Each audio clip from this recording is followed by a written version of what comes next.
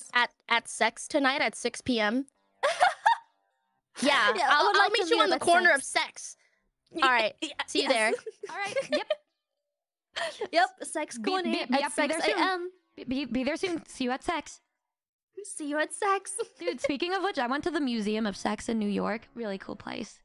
There's a sex museum. What do they do? They just have like toys. Damn. and Well, I what is thought And that's the stuff. closest she'll ever be to it. You are so. You, you guys are so foul. Hello? Hello? So nasty. Voices. So fucked up in the head for the things that you say. What if I told you I was traumatized? Contrary to popular belief, I'm actually a very intimidating demon girl.